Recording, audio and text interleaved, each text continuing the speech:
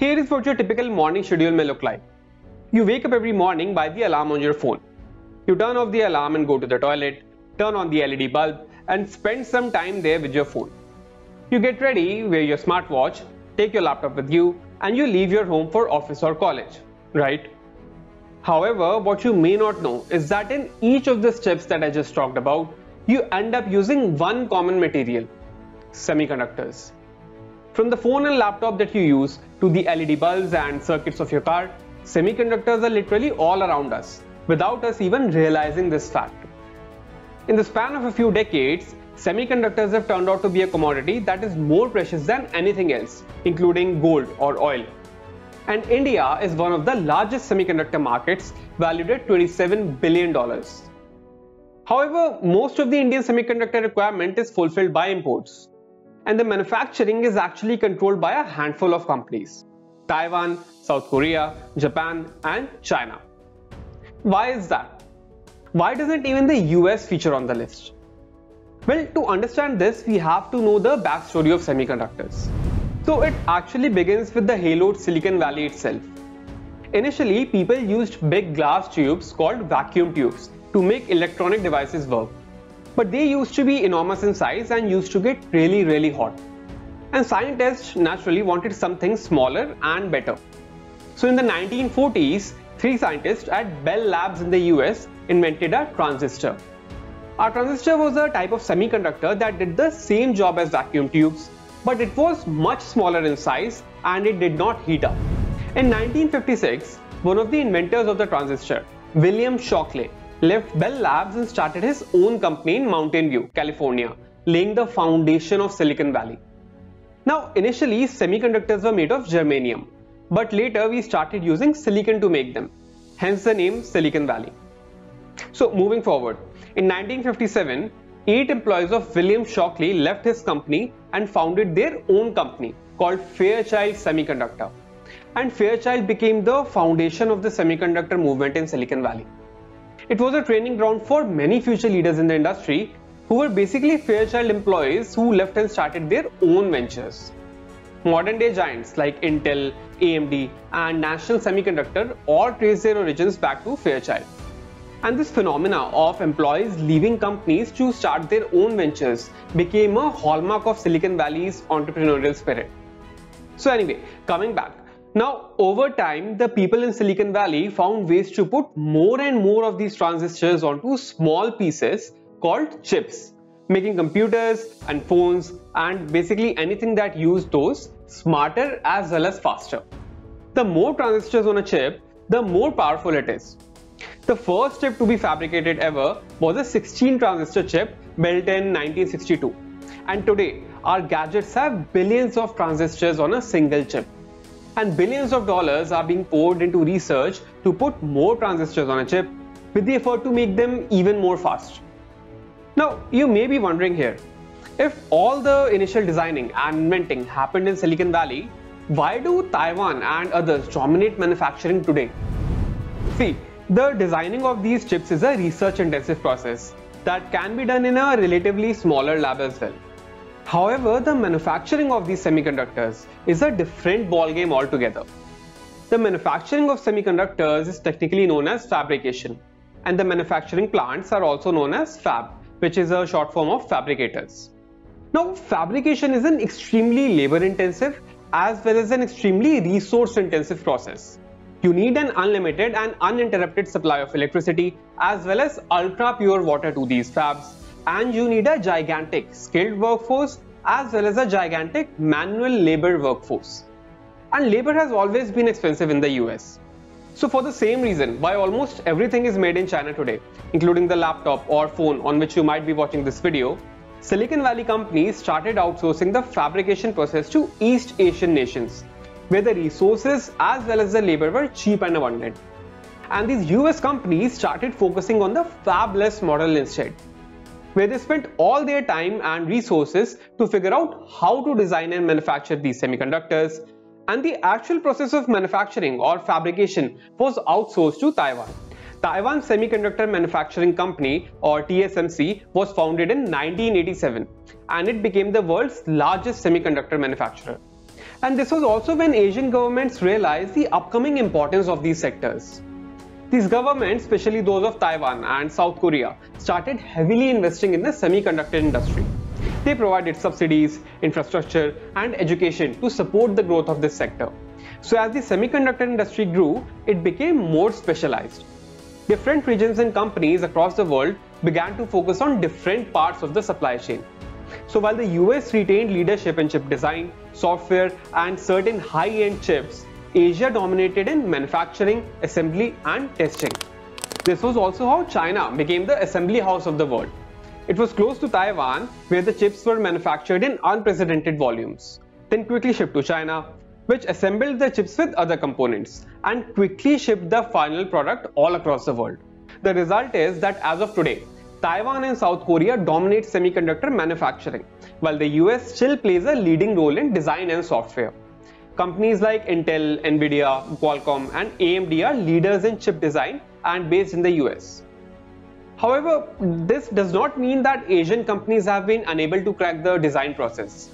With so much investment in research, there are companies in Asia that specialize in manufacturing as well as design, such as Samsung and MediaTek, which have their own processor ranges of Exynos and Helio.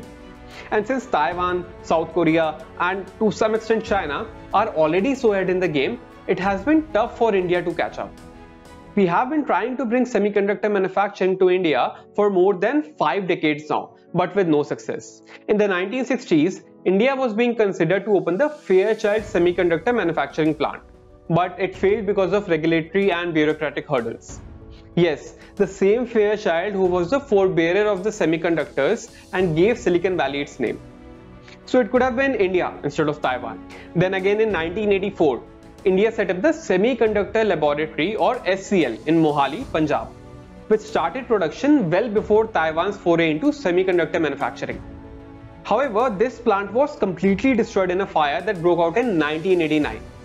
Now, whether this fire was started accidentally or intentionally as sabotage is still unclear. But the result was that the fab did not restart manufacturing until 1997, and by then, obviously, it was already too late. Then again, in the late 2000s, Intel was looking for a global expansion and it was willing to set up a plant in India. But we lost it to Vietnam due to the same infrastructural and bureaucratic challenges. So clearly, the biggest reasons behind India missing the train have been policy paralysis from the government and a lack of resources. So what is changing now? Why have the avenues suddenly opened up for India? Well, there are domestic as well as international reasons for this. So domestically, as I said, up until now, we did not really have the economic resources to do so. Attracting these chip makers to set up a plant in India means giving them several economic incentives as well as subsidies. Unlike Taiwan, India is a gigantic country and we have always had more important economic issues that needed investment. But now, India has been one of the fastest growing economies and we can now actually afford to invest in the future. Also, domestically, India itself has a gigantic market for the consumption of semiconductors. Our annual domestic chip consumption is estimated to be $27 billion right now, and it is expected to reach $55 billion by 2026. So, if we are able to meet even a small share of this demand through domestic manufacturing, it will be a big win for India as well as the chip maker who decides to invest in us. Now, coming to the international scenario. See, semiconductors are used everywhere, including automobiles and high grade military equipment and obviously most of the global demand is imported from Taiwan. Now, China has been threatening to annex Taiwan for several years now, similar to how it annexed Tibet. In fact, the US believes that the annexation is bound to happen by 2027. And if this happens, the entire control of semiconductors will pass into the hands of China. China will then always hold the cards threatening to wage a trade war and cut the supply of semiconductors to any country it doesn't like, jeopardizing important sectors like automobiles and even military equipment. So, be it India or the US, everyone knows that China is not someone you can count on. And therefore, there is an international eagerness to create a new base for these semiconductor factories, where India, fortunately, has an excellent international reputation right now. So due to a combination of these domestic and international reasons, India is in a position to get its own semiconductor fab now more than ever before. Capitalizing on this situation, India has been pushing hard to get the first semiconductor fab established.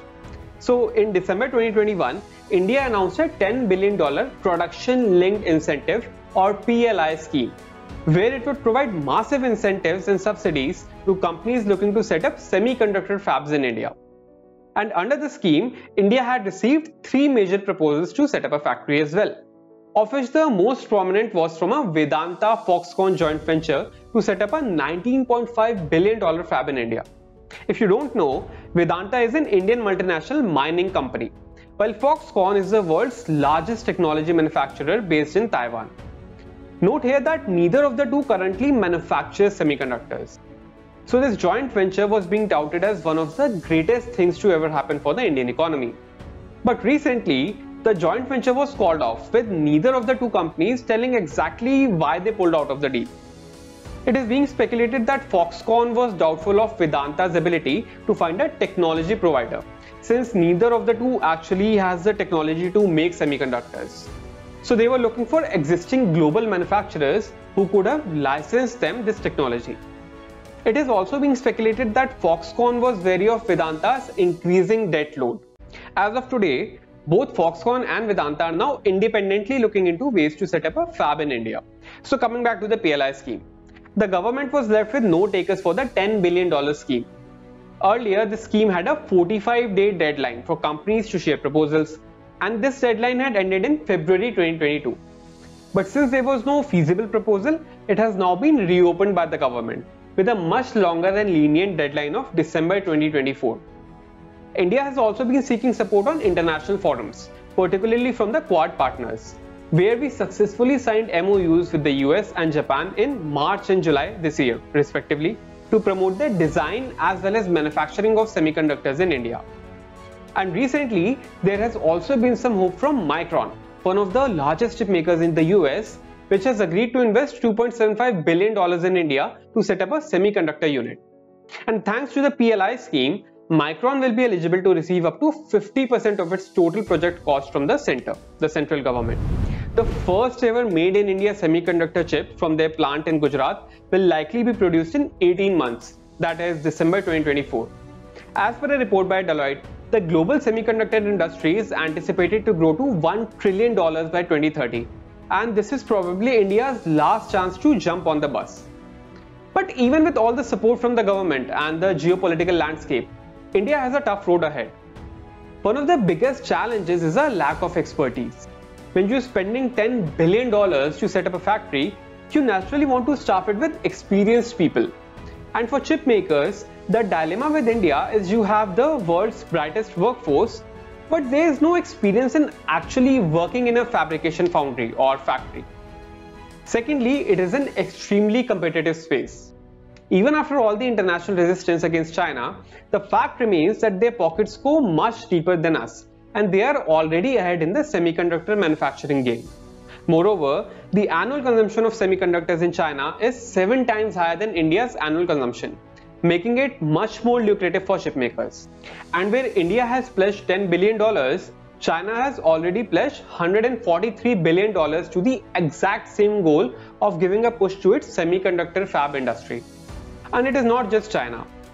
Even the US recently passed the CHIPS Act, investing $280 billion to promote their domestic semiconductor industry. And in front of all these numbers, $10 billion seems like quite a small amount. So beating these competitors is not going to be easy at all. But the good news is that while the process might be slow, India is definitely on the right path. To get ahead, you need to get started first. And true courage is to take the first step even when you cannot see the staircase ahead. As a takeaway, you should seriously start considering adding some semiconductor companies to your portfolio. With the current push by the Indian government and the exponentially increasing demand for semiconductors, the entire industry is set to grow in India. And I'm sure that right now there is a small SME working silently in some corner of some industrial town in India that will be a multi crore enterprise in the coming years. It is an opportunity of a lifetime, and with enough analysis and luck, you may get your hands on a multi-bagger stock. I have added a list of semiconductor companies in the description below that are currently listed on the stock exchange. And while you are there, please follow me on LinkedIn as well. Personally, I'm really excited to see how the semiconductor landscape evolves in the coming years. Let me know in the comments what your thoughts are on India's opportunity in this space. If you made it so far, please hit the like button and subscribe to my channel. I need your support to take my thoughts to more viewers across India. Let me know in the comments which video you want me to cover next. Until then, goodbye.